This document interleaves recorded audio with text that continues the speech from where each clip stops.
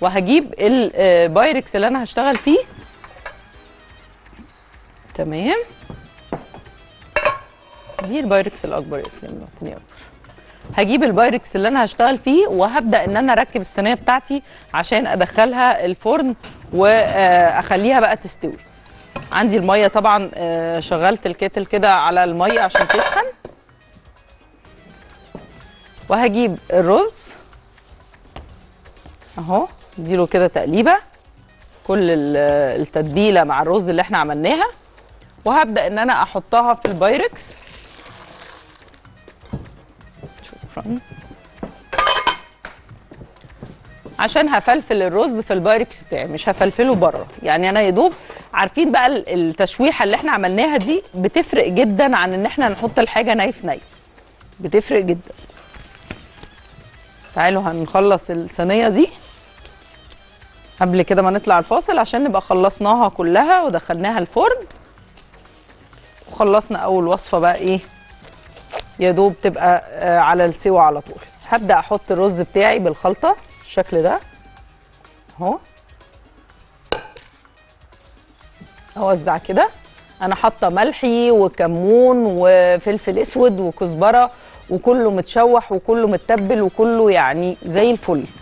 خلاص مش محتاجة أحط ملح تاني. زي ما قلت لكم عايروا الملح كل كوباية من الرز عليها معلقة شاي معلقة صغيرة من الملح.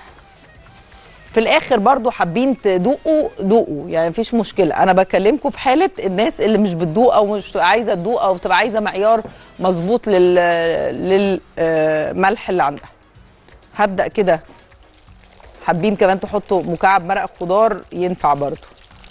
هغطي الرز بتاعي بشوية كده. أهو. أدي طبعا تقليبة عشان أقلب كل الخلطة اللي عندي مع ال- المية.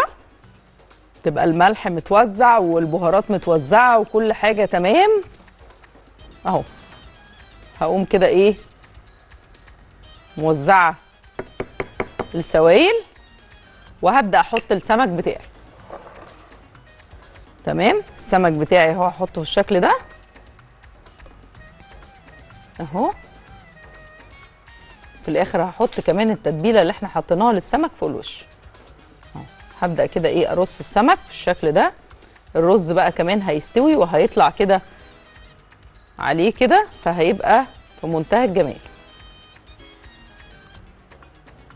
اهو. بصوا. أرص السمك كده.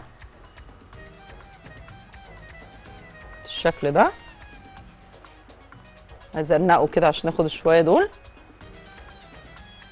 عشان ما أسيبش سمك خالص. بصوا بقوم حاطة كده في بطنه من التتبيلة.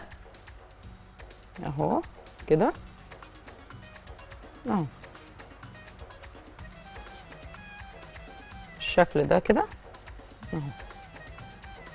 ممكن آخد دي هنا يبقى خلصنا كل السمك اللي عندنا. كل التتبيلة دي بقى هبدأ أحطها كده فوق السمك.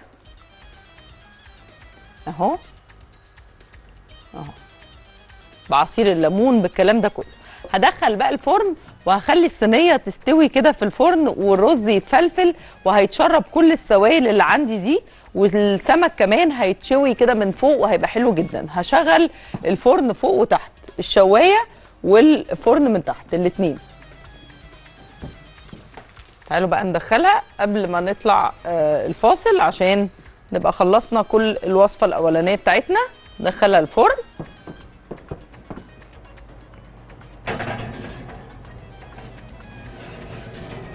أهو. واسيبها بقى الرز يتفلفل مع شوية ال- المية والسوائل دول والسمك كمان هيتشوي كده وهيبقى في منتهى الجمال.